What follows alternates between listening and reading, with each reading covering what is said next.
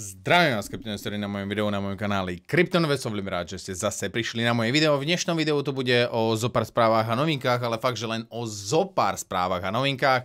A hlavne sa teda pozrieme aj na graf, keďže nám za chvíľku končí týždenná sviečka, zopár zaujímavých vecí sa tam udialo. Pozrieme si aj menší timeframe, aby ste na to vedeli reagovať. Zajtra Patreoni zhruba o tej 10. hodine by sme mali mať ranný live stream. Teoreticky, ak skôr, ak chcete, ale hej, veľa ľudí sa zhlo, že 10.00 vám celkovo ráno vyhovuje. Čiže ďakujem vám veľmi pekne tí, čo prichádzate na môj kanál a poďme, teda lajkujete, šerujete a tak ďalej a tak ďalej. Keď chcete, môžete, keď nechcete, nemusíte. E, ešte jedna taká pripomienka, hej, robím tých videí celkovo asi dosť veľa. Viem, že to spamuje váš YouTube účet, ale ak môžete, odoberajte tento daný kanál, aby aj tento kanál rástol počas bear marketu. Dobre, poďme teda rovno na market. Čo sa nám deje na markete? Dneska to chcem, aby to bolo veľmi rýchle video, alebo teda rýchlejšie video. U mňa to nikdy nie je e, také 100%, že či to bude rýchle alebo nie. Ale čo sa týka celkového market capu, market cap nám narástol o 3,3%, čo sa týka Bitcoin dominancie, tá prepadla na e, podhodnotu 40%. Mne sa to príliš veľmi nepáči, že Bitcoin dominancia takto, e, takto prepadáva. Aj keď mám taký pocit, že je to trošička na úkor e-true, ten narástol zase 17,6%, ale e, ak chceme sa dostať z nejakého problému a z tých stračiek, v ktorých je market, tak mám taký pocit, že e, práve Bitcoin, síce aj hej, mám taký pocit, že by to až tak nevadilo, hej, keby e, trošička Ether kradol Bitcoin dominanciu, ale určite títo dvaja lídry na markete musia mať to najväčšie slovo, čo sa týka progresu smerom hore a chceme, aby sa to celkovo zobudilo. Dobre, Lido DAO dnes s najväčším, uh, najvä, najlepším coinom, čo sa týka úspechu, 14,6% za posledných 24 hodín. Synthetic Network Token uh, prakticky prerazil uh, líniu 200 a, a následne žiadna reakcia na short tam ani nebola. Bitcoin Cash, Radix, Phantom, Cardano a tak ďalej a tak ďalej. Čo sa týka najväčších lúzrov dneška, NEM, Huobi Chain, uh, TFU, Leo Token a tak ďalej a tak ďalej. Čo sa týka lúzrov, tí tam príliš veľmi nie sú. Dobre, nezačneme najprv marketom, ale pôjdeme najprv prv, lebo market je zatiaľ celkovo pozitívnejší, hej, e, vyzerá fakt, že na 12 dňovke a na daily ten e, setup vyzerá celkovo veľmi zaujímavo, veľa ľudí je extrémne pozitívnych v tom, že prakticky Bitcoin by mohol hej, sa dostať z nejakých krízových hodnôt.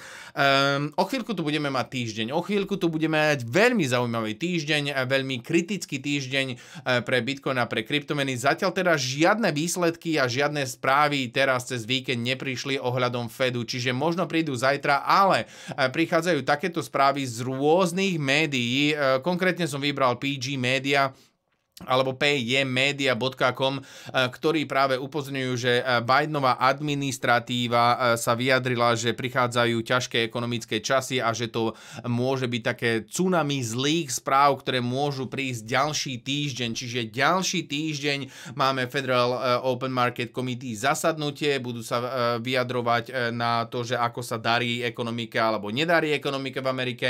Máme aj nejaké výsledky, CPI v Amerike prišlo extrémne negatívne, čiže ten týždeň fakt musíme si dať aspoň týždeň na to, aby sme vydržali ešte v tomto danom markete. Ak náhodou prídu nejaké pozitívne správy z Fedu, uh, bude to pozitívna reakcia, vtedy môžeme očakávať nejaké vyššie hodnoty Bitcoinu, ale nevieme, že čo oni sa tam prakticky vyjadria, keď Bidenová administratíva už upozorňuje na to, že uh, prichádza vlna uh, zlých správ, zlých ekonomických správ a to až kategórie 5, hej, čiže tá najväčšia burka, aká je, upozornili na to viaceré médiá, hlavne teda upozňujú a média pripravujú ten market na možné zlé správy, e, čo sa týka Fedu. Zatiaľ teda, ako som hovoril, zatiaľ teda žiadne dáta ani žiadny, e, žiadne insider information z Fedu neprišli, žiadne vnútorné informácie fakt, že neprišli.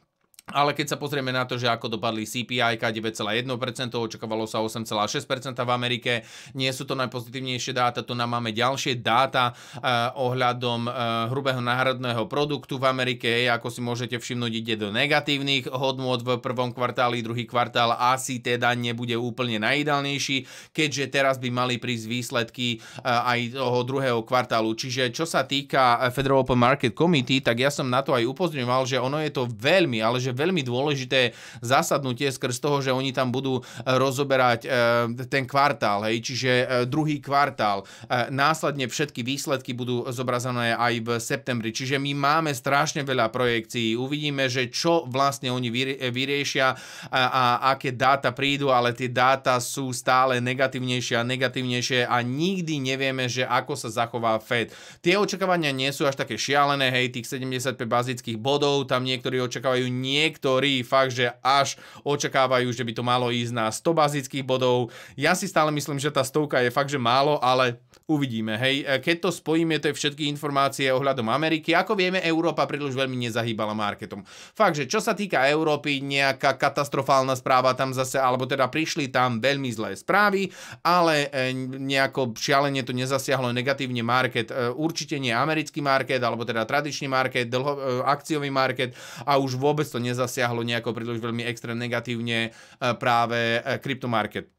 Ale keď sa pozrieme na dáta, ja som na to upozorňoval už asi dva týždne dozadu, kedy som spomínal, e, že Taliansko, a vyzerá to tak, že e, tie správy z Talianska sú stále horšie a horšie a že to môže byť takéto nové Grécko. Hej. Čiže e, Európa už zažila jeden krach alebo jednej krajiny, kedy prakticky všetky štáty eurozóny sa prakticky hej, spájali na to, aby vyplatili e, Grécko a teraz to vyzerá tak, že je to Taliansko, hej, Taliansko a ich e, akciový market je fakt, že na úplných nulových hodnotách. E, Taliansku sa príliš veľmi nedarí, e, plus majú najväčší dlh z Európskej únie a vyzerá to tak, že keď sa spustí nejaká šialenejšia kríza v Európe, tak to možno sa práve odštartuje v Taliansku, čiže uvidíme, aký to dopad e, tam bude mať. Následne aj Európska centrálna banka sa vyjadrila, že bude odkupovať e, nejaké dlhopisy z Talianska skrz toho, že tam sú obrovské sko- e, spredy medzi Európou a e, alebo viacerými členskými štátmi a takisto aj Talianskom. Čiže v Európe to takisto nevyzerá úplne najideálnejšie. Najväčším problémom vyzerá to tak, že je práve Taliansko. V Amerike, hej, prichádzajú už upozornenia, že Bidenová administratíva proste, hej, dáva barovný prst pred tými výsledkami, čo majú prísť z Fedu čo sa týka správ okolo Fedu, tam nevieme, že ako to môže dopadnúť. Čiže toto sú všetky správy, ktoré môžu negatívne ovplyvniť market. Chystáme sa na to, mám taký pocit, že tretí týždeň. Čiže už toľko tu musíme vydržať. V, v útorok bude zasadať Federal Open Market Committee a následne v stredu bude mať uh, Jerome Powell um, zasadnutie a teda bude mať rozpravu pred všetkými noviármi, kde prakticky všetko dá do jednej takej kopky a následne uvidíme, že či to bude pozitívne alebo negatívne. Celkovo tie očakávania sú 75 bazických bodov, niektorí 100 bazických bodov a ďalej skoro, skoro nikto si nemyslí, že uh, Fed bude mať gule na to, aby zasiahol poriadne proti inflácii a to je zvyšovanie viac než o 100 bázických bodov. Ak by na, a tu chcem dať jedno také upozornenie, že nikto, nikto, nikto, fakt, že som nezažil nejakého analytika a ani celkovo, čo čítam správy e, z Ameriky, tak nikto neočakáva, že by to mohlo byť Niektorí neočakávajú, že ani by to mohlo byť 100 bazických bodov, čiže možno ten market ani na 100 bazických bodov nie je pripravený. Ja celkovo očakávam, že to bude aspoň 100 bazických, alebo teda navýšenie na 100 bazických bodov. Ale nikto neočakáva viac než 100 bazických bodov, čiže to môže byť extrémne negatívna správa, kedy prídu a možno Fed oznámi, že dobre, musíme to zvyšovať trošička rýchlejšie, 125 bazických bodov, alebo viac, aj keď viac už ani ja sám neverím, lebo vidno, že ten Fed ešte ne, ne, nejako dramaticky nikdy nezasiahol do, poriadne do marketu ale zase, čo sa týka, že, že to môžu byť extrémne negatívne správy a vtedy uvidíme ponor, ako sme ešte nikdy možno nevideli, a, ale čo sa týka tých dodatočných správ, lebo fakt, že nevieme, musíme si proste počkať na ten útorok a stredu. Teraz môžeme len mať nejaké hypotézy a špekulácie, to je to práve, čo robím ja, hej, že e, očakávam, že čo by mohlo, aká správa by mohla e, ktorým smerom pohnúť, ale zase viaceré americké médiá e, píšu o tom, že musíme sa pripraviť na nejaké e, veľmi zlé ekonomické výsledky, kritiky, upozňujú na to, že všetko to má byť zlé, hej, pripravujeme sa na nejaké najhoršie veci a Fed to práve môže porušiť tým, že povie, že aha, dobre, nič, nič sa nedieje, tento mesiac to dáme ešte na 75 bázických bodov, uvidíme, čo nám ponúkne ďalej september. Čiže, hej, treba, treba sa pozrieť aj na to tak, že ono, strašne veľa médií informuje o tom, že možno prídu najhoršie správy, aj keď teoreticky by mali prísť, skrz toho, že nie je tam nič pozitívne, čo sa týka americkej ekonomiky ale hej, uh, Fed má jednoznačne to posledné slovo, ako to zahýbe marketom. Dobre, čo sa týka uh, týchto daných vecí, chcel som na nich rozprávať najprv a teraz sa poďme pozrieť v rýchlosti na market, čo je tu pozitívne a čo je tu negatívne. Čiže začneme od weekly chartu, čiže spravíme si len taký malý prieskum. Čo sa týka Bitcoinu, ak Bitcoin náhodou zatvorí, alebo teda ak zatvorí na hodnote, nad hodnotou 22 700 dolárov, skvelá správa pre Bitcoin skrz toho, že zatvorí týždennú sviečku na hodnote 200, po prípade trošička vyššie. Ak to bude pod touto danou hodnotou, no nebude to nič úplne najideálnejšie skrz toho, že tá ďalšia sviečka bude extrémne dôležitá. Ak, tá, ak na ďalší týždeň sa nedostaneme nad hodnotu 22 700 alebo 800 dolárov, bude to extrémny, extrémny problém pre Bitcoin. A keďže tu máme nejaké očakávania od Fedu, ktoré nie sú úplne najideálnejšie, môže to byť fakt, že e, dramatický dopad a sešup smerom dole. Čiže mám taký pocit, že aj čo sa týka správ, ako vidíme, že ktoré správy prichádzajú, alebo že majú prísť veľmi dôležité správy v stredu, ehm, tak e, následne toto nám naznačuje aj graf, že tá ďalšia týždňová sviečka by mohla byť extrémne dôležitá pre Bitcoin v, e, v ďalších prebehoch e, týždňov alebo mesiacov. Hej, nám to môže určiť ten pekný trend, na ktoré hodnoty môžeme ísť. Čo sa týka daily, Daily zatiaľ nevyzerá vôbec nejako príliš veľmi extrémne katastrofálne, minimálne skrz toho, že na to, čo som upozňoval, hej, že potrebujeme udržať, alebo teda na daily potrebujeme udržať minimálne tú prvú vrchnú hodnotu supportu, tá je na 21 750 dolárov, 21 800 dolárov, to bolo udržané, prakticky sme otestovali tú hodnotu 21 950 dolárov a následne zažívame odraz, to je skvelá správa, posledná zóna, ktorú by sme mali sledovať na daily je 21 000 dolárov, čo sa týka 12 hodinovky, tam to vyzerá fakt, že oveľa, ale že oveľa krajšie a jasnejšie, minimálne skrz toho, že sa nám tu vytvára takýto nádherný flag. Nádherný flag a ten flag, tá vrchná e, línia toho flagu je zhruba asi takáto, e, kedy si môžete jednoznačne všimnúť, že táto rezistencia, ktorá tu bola, fakt, že mega, mega dlhá rezistencia, ktorú tu máme zobrazenú v tom Tyrkisovom, e, Tyrkisovom kanáli, tak zatiaľ presne, ale že presne, presne identicky lížeme túto danú hodnotu a udrážame sa práve od tejto danej línie. Čiže to je skvelá správa. Zase, e, čo nám to naznačuje, e, je to, že prekonanie práve zhruba nejakej tej hodnoty 21 500 dolárov, tam by mal byť fakt, že sešup až dole na tie hodnoty 19 400 až tie hodnoty 18 800 dolárov. Zatiaľ, čo sa týka daily grafu a takisto aj 12 hodinovky, tam to vôbec nevyzerá katastrofálne katastrofálne, stochastic RSI a RSI nasmerované smerom hore, čiže tu je to vynikajúce. ADX nasmerovaný plne smerom hore, to je skvelá správa, lebo chceme mať silný ADX, čo je trošička väčším problémom na 12 hodinovke, je tu nerozhodnutie bíkov a medveďov, že ktorým smerom sa vlastne oni chcú pohnúť. E, na menších timeframoch e, je tu ešte jedno také upozornenie, ako si môžete všimnúť na 45 minútovke, nevieme sa dostať cez jednoznačne jednu líniu a to konkrétne cez hodnotu 22 800 50 dolárov. Teoreticky by som to dával na 22 e, 900. Čo sa týka tejto danej príležitosti, až nad týmito danými hodnotami by som sa pozrel nejako na long. Keďže e, zobrazoval som vám včera v live streame taký pattern, kedy tu máme high, low, high, nižší než ten predchádzajúci, prakticky tu je low, uh, bol identický, high, nižší než ten predchádzajúci, low, nižší než ten predchádzajúci a high tu ešte nemáme vytvorený, čiže high nad hodnotou uh, 23 020, 2973 až 23 tisíc dolárov môže byť extrémne, extrémne pozitívny skrz toho, že začneme si vytvárať väčší high a tam by nás to malo hnať minimálne na tej hodnoty 23 300 dolárov, možno retest tej hodnoty 22 800 a následný ďalší púš na vyššie hodnoty, ale najprv jednoznačne musíme prekonať e, práve túto líniu a hodnotu 22 900, aby sme sa mohli pozerať na nejaký ten long. Vidno na 45 minútovke, že takisto ten market tu nie je príliš veľmi rozhodnutý, čiže bacha s tradingom, ale viaceré indikátory sa nezhodujú. Minimálne Stochastic RSI a RSI, RSI je nasmerované smerom hore, e, smerom dole, e, Stochastic RSI je nasmerovaný smerom hore, čiže určite sledovať túto mini range, ktorú tu máme, 22 e, 800 až 900 dolárov break up. Skvelá správa, break down pod hodnotu 22 500 dolárov, tam by to malo vytvárať nový low, ktorý by mal byť nižšie než hodnota 22 000 dolárov, ale to je až po prekonaní 22 500.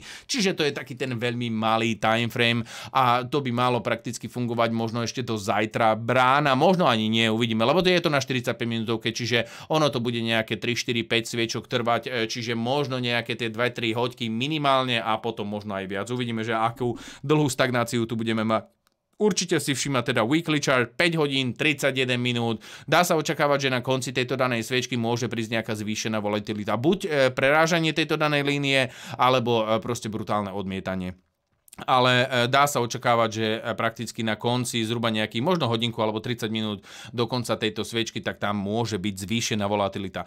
Dobre, ešte zo pár ďalších dodatočných správ, aj napriek tomu, že zatiaľ ekonomika je veľmi zlá, alebo e, tie výsledky ekonomiky a ekonomických správ sa dajú očakávať skôr negatívnejšie ako pozitívnejšie. Aj napriek tomu tu máme nejaké tie pozitíva a to minimálne to, že dlhodobí hodlery sú proste na tých all-time high bodoch, čiže to je prakticky tá grupa ľudí, ľudí, ktorá drží ten market e, celý nad vodou. E, dúfajme, že sa nezačnú lámať pri nejakom kritickom bode, keď e, začneme prepadávať. Čo som si ale všimol na on-chain data, ako viete, ja na on-chain data príliš veľmi nedbám, ja skôr sa zameriavam na trading a na ekonomické výhľadky a skôr na taký ten krátkodobejší pohľad marketu, alebo teda aj dlhodobý, ale skôr teda sa teraz venujem viac tak tradingu a hlavne, čo ma teda zaujalo na týchto on-chain dátach je práve tento daný chart, ktorý nám poukazuje jednu vec. Um, jednak nám poukazuje to, že máme tu obrovský nárast eh, medzi hodlermi, ktorí majú 10 tisíc bitcoinov a viac. Takisto máme tu náraz, stúpajúci náraz a stúpajúcu tendenciu uh,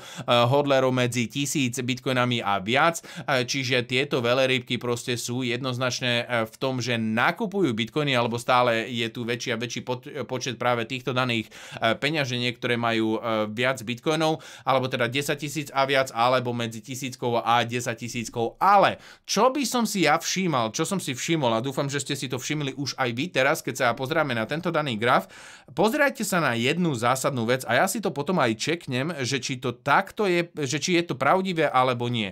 Lebo práve e, tieto dané dáta nám môžu naznačiť jednu vynikajúcu vec a to je ďalšie topy alebo teda zariadenie sa podľa týchto daných hodlerov, keďže si môžete všimnúť, že peňaženky medzi hodnotou 1000, e, 1000 bitcoinov a 10 000 bitcoinov predávali síce trošička skôr, hej, keďže predávali zhruba medzi nejakými hodnotami 48 tisíc, 50 tisíc dolárov, ale e, najväčšie odpredaje vykonávali práve pri tých topových hodnotách. Čiže tu nám boli obrovské obrovské odpredaje, čiže oni prakticky skoro úplne e, perfektne vychytali e, ten top, ktorý tam bol. Aj keď sme zažili ešte jeden mini top, ale e, oni spustili prakticky takú tú vlnu krásneho odpredaju skoro na tých určitých topoch. Čiže toto je jedna taká zásadná vec, ktorú by sme si mohli zapamätať do budúcnosti, keďže nám to môže poukázať, že aha, dobre, tu by sme mali trošička dávať hej, brzdu a následne postupne začať odpredávať nejaké tie coiny. Čiže taká celkovo zásadná, veľmi pekná vec. E, čo sa týka viacerých analytikov a profesionál, finančných profesionálov, tak tí očakávajú, e,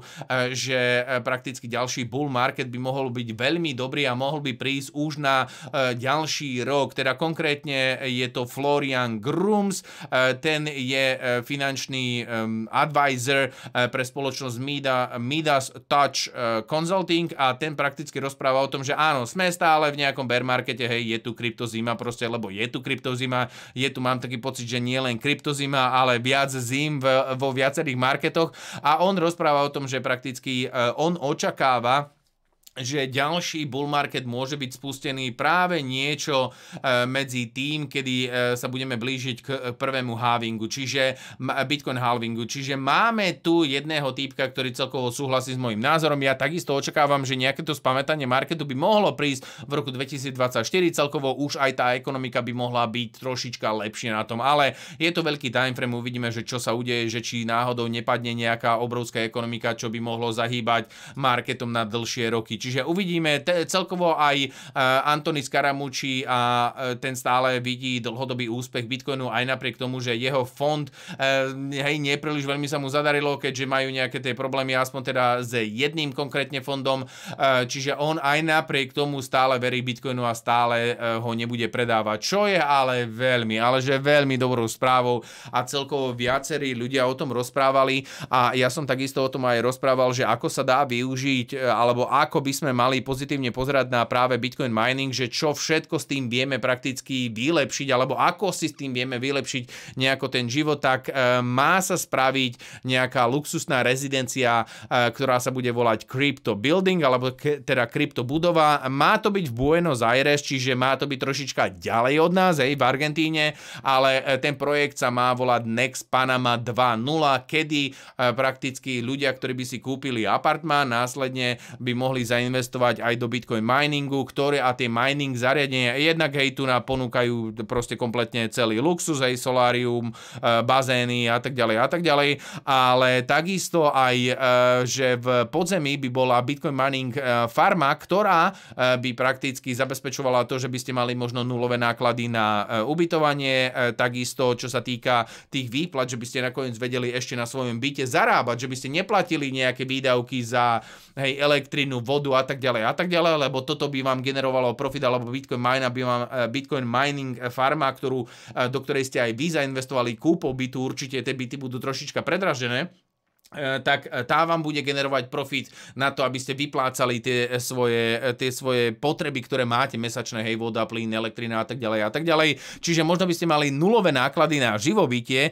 s tým, že nakoniec by ste možno na tom ešte vedeli zarobiť, keďže by sa tam vyplácali aj profity, keby tam bol nejaký ten profit po vyplatení tých daných vecí a vypočítavalo sa by, by sa to podľa toho, že koľko teda máte zainvestované alebo aký veľký je váš byt a následne percentuálne rozrátať na na, počet toho, že koľko percent toho miningu vy prakticky vlastníte. E, následne ešte e, dodatočná vec, hej, že energiu by to čerpalo práve zo solárnych panelov, ktoré by boli asi teda uložené e, na vrchu tej danej budovy a ešte x kvantum ďalších vecí, veľmi zaujímavých vecí. Čiže toto je a, fakt, a ešte jedna dodatočná vec, hej, že to generované teplo by nebolo len tak proste, hej, vypustené niekde do vzduchu, ale by e, proste sa využívalo na vyhrievanie e, bytov. Skvelá vec, fakt, že skvelá vec. O tom sa rozprávalo. Dúfajme, nenašiel som, že fakt, že kedy sa to má postaviť. Zatiaľ je to iba projekt. Hej, píšu tam viaceré veci